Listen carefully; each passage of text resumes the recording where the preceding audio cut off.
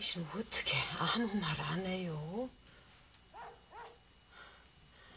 우리 귀남이 취직한다잖요. 제떨이 안 집어던져요? 생각을 많이 해서 결정한 일입니다.